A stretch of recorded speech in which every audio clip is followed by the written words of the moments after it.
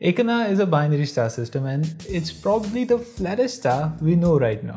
And if you live in the northern hemisphere, there's a rare chance you would have spotted it because it's too far south. So here's Achernar intro.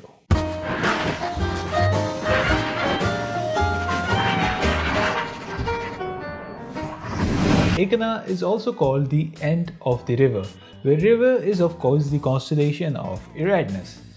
Yep, it really looks like a river. Now, the star is quite far south and you wouldn't see it above 33 degrees north latitude, which means that a lot of people, if you live in North America and also Europe, you wouldn't be able to spot the star in the night sky.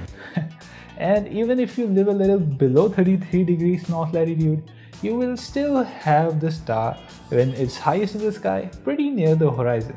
So you need to get a really flat ground away from all the stuff like mountains and buildings. So it's not that easy. But if you are a Saudi, well then you guys are pretty lucky here. Now if you want to find the star in the night sky, you need to first locate the constellation of Eridanus and it's not that hard to find because it's near another majestic and famous constellation which you already probably know, the Orion. So if you are able to spot Orion, which I probably guess you will be, so if you find it, then just right beside it is the start of the river, the Eridanus.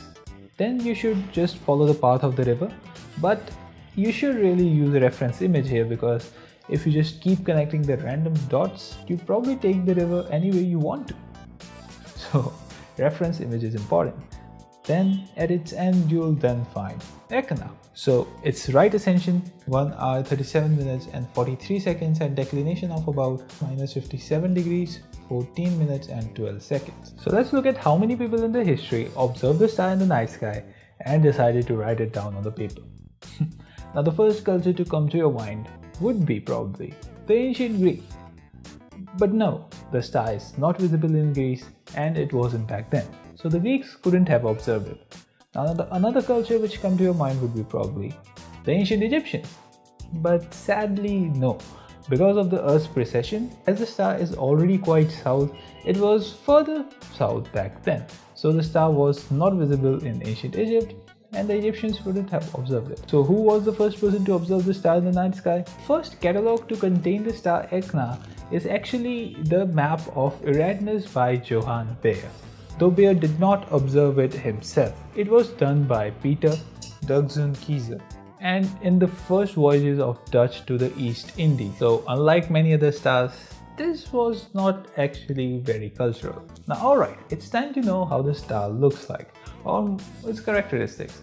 Now it's about 6 to 8 times the size of a sun, which would probably mean that it is a main sequence star and it is. It's a main sequence star of category B6 and it's also about 3150 times as luminous as a sun. So this star is quite bright and it's also a little bigger but it's not too big. Its mass is about 6 to 8 times that of a sun and its diameter is about 8 to 10 times that of a sun. However, there's one thing which is very interesting about Achernar. It's its rotation where as a sun rotates at about 25 days once around its axis, Achernar here completes one rotation in just a little more than 2 days. So it rotates very rapidly.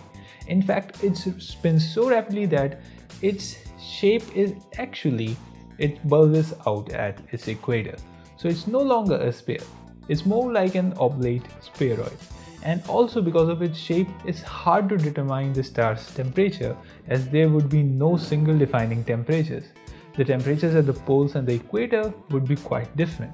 So the poles actually end up being a little hotter than the equator as it's more closer to the core. Uh, astronomers estimate its temperature to be about between 14,000 to about 19,000 Celsius. It's also quite similar to another star I actually made a video about, Altair as because of its fast rotation it also bulges at its equator and it's also just 140 light years away which I realized I haven't told you yet.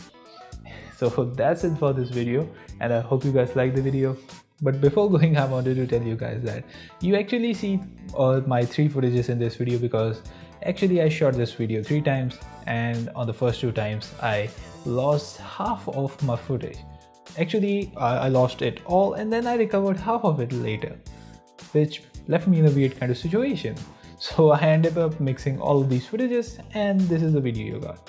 So this is it and I hope you guys enjoyed it.